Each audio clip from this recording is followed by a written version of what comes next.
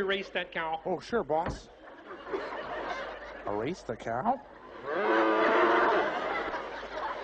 Welcome again to Muppet Labs, where the future is being made today. Well, we are just feverishly excited here at the labs today because our latest invention is ready for testing.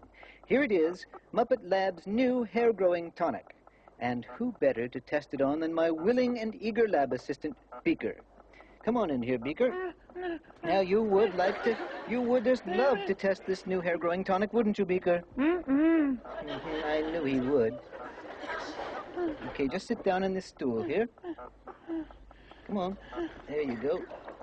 We'll shake a little bit of this on here. Put it down. And massage it in vigorously. Well, yes, now, in just a matter of seconds, you can grow a rich, luxurious head of hair. Go from a baldy to a shaggy in the mere tick of a clock. There. Now, watch closely. Here is the result of using Muppet's hair growing tonic.